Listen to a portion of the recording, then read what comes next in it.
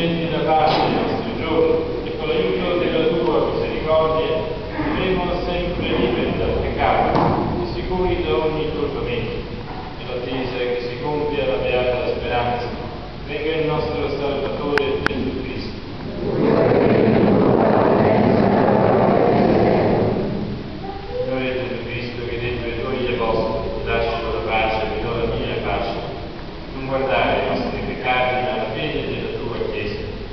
de